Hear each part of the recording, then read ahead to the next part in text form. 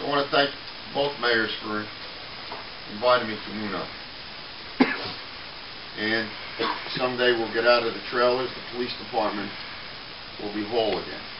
But they're serving our purpose right now, right Dennis? Yes, sir. Serving our purpose right now. Right, Chief? So we saw the first-hand devastation caused by Hurricane Sandy. Some of the worst impacts seen right here in Moonachie and Little Ferry. 80% of Moonachie was underwater. We're at a place which was underwater. Am I exaggerating? The police department, city hall are still being housed in these FEMA trailers. And I want to thank those first responders who live with this day in and day out. Work so hard to evacuate these towns after the Hackensack River overflowed its banks due to a record-shattering tidal surge. You put your lives on the line. There's no other way to put it. Out in the Middle East.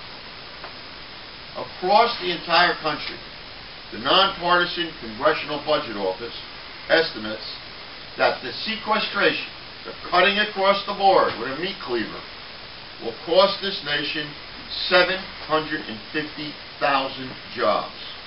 This is what they want to do. The country is at stake to partisan politics.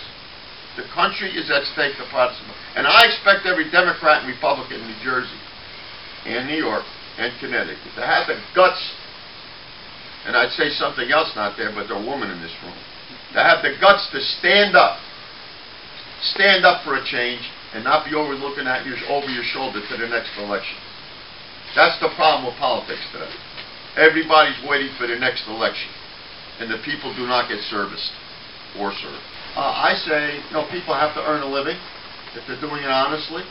If they have to make equipment for our military, they they they they have a great part of our economy.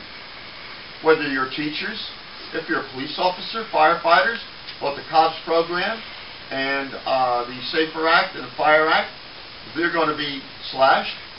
Not only this year, beginning the process of years to come. They've been trying to do this for the last seven or eight years. They're full of baloney when they say they want to protect America. They are lying to the American people.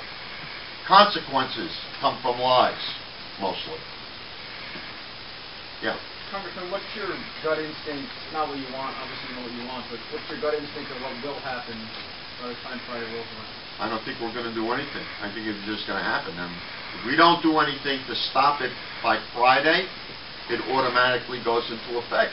Because that's what we did last year. We said March the 1st, the sequestration will start if we have not come up with a balanced plan to reduce the budget and to improve the economy.